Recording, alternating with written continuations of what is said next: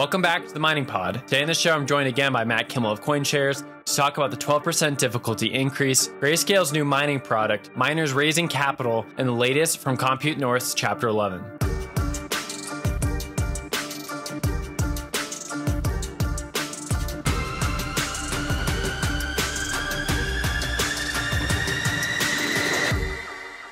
Matt, welcome back to the Mining Pod. How was your week since we've seen you last? How you doing? I'm doing actually. I'm a little disappointed. Why are you disappointed? Because there. Okay, so there was the Elon news yesterday where he made an offer for Twitter, right? And Definitely. in a bull market, Dogecoin would have like skyrocketed, and we all would have had a good laugh. Like it would have been hilarious, and and it would have been good fun. Yeah. But it just didn't. It's, like, it's the meme. It's the uh it's a Toy Story meme. You know, he had us on yeah. dropped the doll, he dropped Woody, and now he's picked up Twitter, and that's his new fun thing to play with. Twitter, the stock was going all over the place. Like, did you see a rebound from like the the lows? I think it was like low 40s or something like that, and then it shot back up to the offering of 54 20 whatever it was yeah the market was like being getting brutalized but twitter had a good day because people like elon but in our in our bear market times in crypto, I you know I just want to bring back some meme uh, coin conversations a little bit, just just for good fun here and there, just lighten up the air, you know. We do miss Do- Dogecoin. I do miss it. We had a great piece 18 months ago, so about Dogecoin and Dogecoin. Dead. Wow. Eh. Dogecoin miners, how much they were making during the bull market. It was quite a bit quite a bit of money. But let's not talk about Dogecoin. Let's talk about Bitcoin mining, which is probably the most depressing subject right now with the increase about to happen. Give us the lowdown. Well, we're about four days out expected from another difficulty adjustment, and it looks like we're going to go up over 12% as of right now. So if you're sort of a fringe miner right now, you're in deep trouble um, we talked last week about how there was like a, you know, sort of a, the last difficulty adjustment was a small 2% sort of downward. Um, and that we likely thought that this was a temporary thing. And it, it turns out to be true. And I got right here, I looked it up. A lot of the Q3 numbers are out now for the public listed miners. CleanSpark up, Core Scientific up, Riot up, Bitfarms up. And it's not just necessarily like a small amount. Um, like Clean Clean Spark, which we know had uh, just acquired a new place in Georgia, right? So that's expected, but month over month, like twenty percent, that's huge. Um, and I think we can credit a lot of this to uh, S19 XPs being delivered and being deployed and coming online. Right, the newest, most powerful, most efficient ASIC out there um, is being turned on and it's really pushing hash rate higher. Yeah, that's definitely the analysis I'm seeing from most research out there, which makes sense, right? You can just look at Bitmain deliveries and talk to miners and more or less the correlation's very strong there. Of course, Texas summer's coming down, like it's getting a little cooler. I'm assuming I'm not in Austin right now, but assuming it's getting a little cooler. So I think like Riot and other miners in the area are turning back on, like Argo. So that can definitely contribute. And then I think some delayed miners are finally getting online, like getting past some infrastructure bottlenecks. So that is also a reason for it. So the biggest takeaway for me is I think we're actually going to get a very good valuation or number for how much hash rate is owned by publicly listed companies. And not to sound super bearish on top of the awful difficulty news, but a large portion of hash rate being owned by publicly listed miners is not great for the network in my mind's eye. I think it's actually a net negative think you have to think about like all the different stacks of decentralization and geographic decentralization is one thing yes pool decentralization is another thing yes but having different sort of like legal stacks involved with decentralization is also important. Having a lot of private miners off grid miners some publicly listed miners that's good. I think we're going to see like hash rate for publicly listed miners push back or push above like the 30% is typically been at with all these latest deployments. I think it could move towards 40%, which is huge, right? Because these companies are mostly listed in the US and Canada. And we don't know what that means. Do they push ESG concerns on top of these shareholders? Do big entities like BlackRock start making policy decisions on behalf of miners? Not a great thing for the network. Hopefully, we find some cheap energy in different countries and people stop using the easy capital and credit to get their mines online faster. But I'll leave that story there unless you have any other insights. I'm not ready to sound the alarm yet, right? But to your point, Rhodium went public last week, right? We talked about it. And so there's a lot of hash rate now that could be under regulatory pressure. A lot of, you know, once the China ban happened, a lot of hash rate came over to the United States. Um, and people have been getting access to the public equity markets um, to, to access capital, right? And so a lot of hash rate is under sort of the legal framework. We shall see what happens with that. I think a lot of people out there like to make the ETH2 comparison with Coinbase, Kraken, Lido, and say that it's very centralized, but then they forget to look at the amount of hash rate owned by publicly listed miners. And yes, proof of work, proof of stake, very different. Yes, the concerns are very different, but at the same time, I think Bitcoiners would be wise to pay attention to that because there are very direct policy decisions large entities that have controlling shares in companies like Riot or Marathon can make. And that's uncomfortable for everybody. Let's move a lot to of nuances first. that we can get into in another show. A lot oh, of nuances. The researcher wants to get into the nuance. Shocking to me. Okay, a little outline for the show for everyone. We're talking about this week's news, of course. The first thing we're going to talk about is Grayscale offering a new product for distressed assets and for those who want to invest in Bitcoin during a bear market. Then we're going to talk about ACDC, which is a miner out there doing a little bit of a raise. Going to talk about Greenidge's new offering, stock offering, which we're seeing a few companies do because uh, debt is expensive. You got to make some decisions. And then we're going to finish up with a conversation about Compute North and Marathon Digital, both of which are having trouble staying out of headlines. I understand it. It's tough. It's tough to do that. Let's start with Grayscale, though. Give us the skinny on this one. Yeah, they sort of opened a uh, special purpose vehicle, is what it seems like. So private investors, institutional capital can get access to uh, the Bitcoin mining space. I think generally, you know, this is not necessarily a surprise. They already have uh, Foundry Digital, who runs the largest Bitcoin mining pool, but also sort of brokers ASICs on the secondary markets um, as a subsidiary of Digital Currency Group. And so I think they're probably seeing, oh, there's a lot of machines that are really cheap right now. Um, might as well build out some infrastructure and give access to institutional investors. It's what they like to do. It's what they've done with their GBTC product. Um, and it looks like that's what they're trying to do again. Yep, good summary there. From my take, this if, for those who are not familiar with Grayscale and the octopus that it is, they have a lot of different firms. They have CoinDesk. Uh, well, actually, I should go up a stack. DCG, right? DCG owns Grayscale, Genesis, CoinDesk, and Foundry, and now they're going to offer more servicing for Foundry.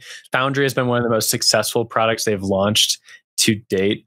Uh, it's been a just a beast, right? So like they came in with like no hash rate in their pool. They're now the largest pool with happened in two years, right? Just huge. They timed it perfectly with the China ban. Uh, they've offered up technical services. They have like a Foundry Academy for training people. They also have uh, some sort of co-location service, I believe, and then they also have like this marketplace for anyone who wants to buy like 25 plus miners or 50 plus miners. You can go to them, and so it makes sense for them to offer yet another thing they're putting their money down on the projects that are working. And them, I'm talking about DCG and Grayscale, like they're going to put money into things that are working. Genesis, we can pull up that dead body. They had a rough go of things. They loaned like $2.4 billion to Three Arrows Capital, and they had to reshuffle the executives at Genesis because of that loan going sour. And so I can see the people in the exec chairs at DCG and Grayscale and elsewhere thinking, uh, maybe good to put money on Foundry. They seem to be using it pretty responsibly. So that's how I read this headline. Uh, I don't know if you have any more takes on that one though. Now we'll keep pushing. Cool. Actually, going to hand this one right back to you. Aspen Creek Digital raises eight million in Series A funding. I don't think a lot of people know about ACDC, which great name, obviously. Hand it over to you. Can you explain the firm and then why this raise is important in your mind's eye? Uh, ACDC significant to me because they use solar energy for one. They're sort of a behind the meter miner, so they're sort of unrivaled energy, right? They're not necessarily buying it spot from the grid. Um, from what it seems like, according to a CoinDesk interview the other day, they are also sort of designing and building a lot of their own energy infrastructure. So it seems like they're shielded from some of the supply chain disruptions happening overseas. I don't know. To me, the mining market's a mess right now, right? You look at every public listed miner has a lot of uh, net losses, right? They're all sort of have cited. If I read another statement that says, you know, due to quote unquote sudden uh, mining economic changes, I'm gonna I'm just gonna start laughing. It's everywhere, right? We see um, the sort of capital access tightening, where we saw Maple, for example, open a new uh, mining capital pool the other week, and they practically doubled the lending rates. Um, it's like twenty percent. Yikes! Like, yeah, right. And then, um, so it's not just in the traditional finance space; it's coming to the to the mining space as well. And you know, a lot of people might be seeing all this blood and say, "I want to stay away," but I think it actually is kind of a smart move for the investors here. You know, you're buying um, distressed assets, and if you have confidence in the future of Bitcoin mining, this could pay off, especially because they don't have to deal with the ESG pressure, right? They're using renewable energy. Um, they don't have to worry about spot grid prices either. So it seems like you know this could potentially pay off. Um, an ACDC may, maybe like a good move here, and, and they're looking to expand in the bear market, right? If you have cash on hand, that's of course a good idea. You're not buying $80 per terahash machines, you're buying $20 per terahash machines, right? That could set you apart. And it's just a year's difference from when miners were buying at those levels. So good analysis there. This is narrative watch time, right? Narrative watch, we see two divergent paths. We see miners who use capital markets during the bull market to get their hash rate online. That either worked or it didn't work. Uh, some miners it did work for. I'd say like Riot, Whinstone made a lot of moves. They have a decent hash rate online. Last two months been kind of tough, but that's just because it's hot in Texas. But they've been moving ahead. On the other side, you have miners like Greenidge and others who have been making some expensive debt payments. We'll dig into that in a second. And they are going to struggle during the bear market to get their economics right and make good decisions. And stay basically in the green if they can at all.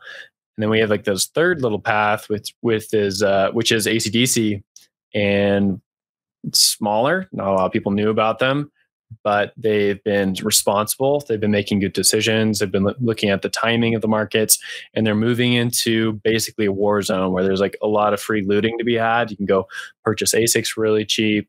There's some hosting contracts that have gone belly up. You can go find equipment. You can go find infrastructure where you need it and get your mine set up for a little bit cheaper than you could have a year ago.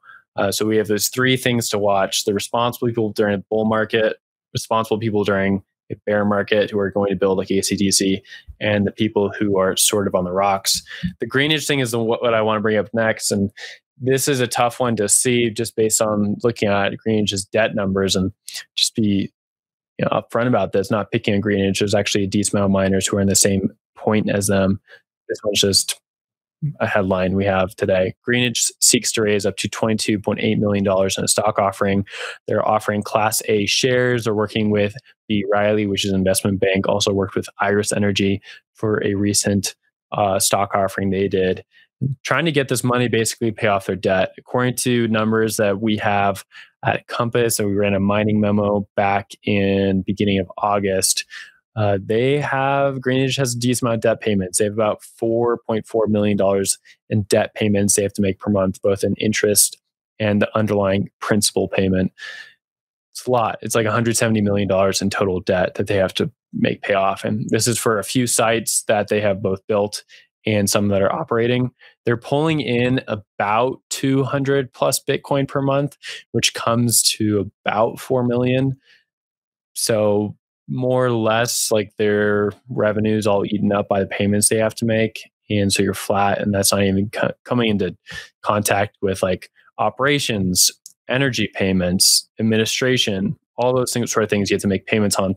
What do you do? You have to go to capital markets and you have to make a decision, decision with the investment bank on how you're going to handle your finances. And so this is not a surprising headline based on greenidge's numbers that they put out this summer. It is unfortunate though and it's unfortunate because it's not just Greenidge. There's a lot of these miners that are going to have to do these stock offerings. It means they're going to have to dilute themselves. They're going to have to dilute shareholders. They're going to have to dilute anyone who's in the company. And maybe they get out of this, but the bear market is just setting in, so it could get worse. And you know, you might have to keep diluting, and then who knows what happens after that. Last point before I hand it off to you is, you know, a lot of these miners are listed on the Nasdaq. Well, guess what? The NASDAQ does have a limit for how low your stock can be before they delist it. There's different ranges for what kind of stock you are $3, $2, and $1. If you get below that for enough amount of time, you can get kicked off of it. And then you have to go to a different exchange with less liquidity. Your stock suffers ever, even more and gets to a pretty hairy spot. So, uh, not saying that's going to happen with Greenidge, but I could see a few of these miners suffering, getting kicked off an exchange or two because their stock price has not been holding up very well. Throw it over to you though. Through a lot of info. Pain. I hope we don't have to see that. Um, I, you covered that really well. I mean, and you saw some of the foreshadowing in the numbers as far as their debt expenses go. I remember I it was last month in, in August they sort of uh, had a release saying that they were going to stop expanding um, in a project to Texas. And so there's a bit of foreshadowing in the news there as well. Um, yeah, I mean, tough for Greenidge. Good that they actually got the raise done, right? And they're going to sort of keep fighting. Uh, but I think you covered it well already and, and, hit all the high points. Yeah, again, not picking on Greenidge here. There's a decent amount of miners in this position. If anyone's interested on debt markets, mining, just hit up the Compass Mining website, go to our content tab, and there's an article somewhere on the page. Maybe just use the search bar miners face millions in debt payments as revenues dry up. That's as of August from one of our favorite writers, Anthony Power. Okay, let's go to the last topic for the day. Bitcoin miner Marathon invested 31.3 million in bankrupt data center Compute North. This is from CoinDesk. It was published this morning at 8 a.m. Central Time, recording as of Thursday. The story here, more or less, is Marathon Digital was hosting with Compute North. They wanted Compute North to get their machines online. Compute North was having some liquidity problems that were present and known to people working with Compute North apparently before Chapter 11. Marathon Digital offered to give them money, gave them $30 million in financing and a further 50 million in deposits in order to get machines online. Didn't stop, wasn't enough. Compute North is now in chapter 11 and they're working on that right now. Of course, Compute North, they went into chapter 11 not only because they had a lot of problems getting some facilities online, but also because they had a problem with one of their creditors, Generate Capital, which I think gave them about $300 million loan. And then that loan started drying up uh, for various reasons that I'm not especially familiar with. Uh, the interesting thing here is Marathon's place, right? So we see that they are online about seven exahash back online, which is great for the Marathon Digital team. But this is a lot of money, right? $30 million in financing. Who knows if they see that again? Could be a while to go through Chapter 11, get things auctioned off. Sometimes you only get pennies on the dollar for what you put in. And the security deposits are something too, right? You put down security deposits to basically park your place in line at a facility, at a hosting partner, saying, like, in six months, my miner will be on this rack. Well, uh, do you get that money back also? Where was that security deposit money used? Did it go to contractors to develop the site? Did it go to container builders to build containers? Did it go to infrastructure providers to put up wiring and lines? Was it even used to purchase machines on behalf of others? We don't know, and we'll have to find that out as Chapter 11 stuff happens. But you know, in total, that's 80 million dollars of a hole in Marathon Digital's books, which is a substantial portion of money. I think Marathon's going to be fine. They have a lot of great financing people over on their team that honestly they might be one of the best financiers out there in mining. Uh, so they're probably going to be okay. But I'm sure they did not love seeing this headline or looking at those numbers. Yeah, I this is another bad news bite for Marathon, unfortunately, which is a trend now. Like everyone was sort of worried because they had a bunch of idle machines, and then news came out about all of their hosting problems. And then they were under ESG pressure with their coal-based Montana plant. Um, I'll just like try to throw like a nice good twist for a marathon. I was looking at their numbers earlier today for their their September press release. Um, and they produced 360 BTC in September and 184 in August. So that they're trending in the right direction. It seems like they've completely migrated um, from that Montana site to one in to the ones in Texas, right, to their other sites. Um, and they may have the most S19 XPs of any public listed miner, which, you know, is good for them as well. It's the most efficient um, machine on the market, as we've already talked about. So I think things could potentially start looking up for Marathon, but obviously this is a bad look. Yeah, it's a bad look, and it's not necessarily their fault unless you'd say like do more due diligence. But at the same time, like their it was their strategy, right? So you have a, either a asset light or asset heavy, and they were asset light. They didn't want to build sites; they just wanted to buy miners, and they've made some pretty strong statements about that during the bull market, why they thought that thesis was correct. I think it is directionally correct unless you run into a very bad macro scene with energy costs, infrastructure, supply chains, and then the asset light model has its problems. Uh, you can only throw so much cash at a wall before things are not going to stick. So, yes, the behind the meter miners are looking smart though right now. I'll say that much. The hosting providers looking tough. We talked about Core Scientific last week and the lawsuit against yeah. them. Compute North, Chapter 11 I don't. The margins aren't huge on hosting, and it, it's looking painful. It's tough, and like even if you want to abstract a little bit more to the Bitcoin network in general, hosting is the only way for a lot of people to get into mining. Like you don't have the ability to go purchase energy, you don't have the expertise to build a hosting site, you don't even know like what wall sockets to buy, right? Like there's a lot to go into being a miner. And so hosting is oftentimes seen as like the way to decentralize Bitcoin a little bit more by providing more ownership for the mining layer. But then you run into these problems, right? And it's it gets a little sticky. So I, th- I think there's more conversations around that. It's a little philosophical for today, but I agree with you. Tough look for both Compute North and Marathon Digital. That being said, I think Marathon Digital is getting their machines online, and once they have those 200,000 plus units online, like what a beast. That's that's a lot of hash rate. So things are looking up. They got machines online. They have a decent amount of exahash. We're already seeing it displayed in public numbers. So things are going to go a little better. Okay, that's all we got for today. Matt, any words of wisdom going to the weekend? I hope you prepared a Chinese proverb or two. Nothing. Just go off, be fruitful, love life, get some sunlight.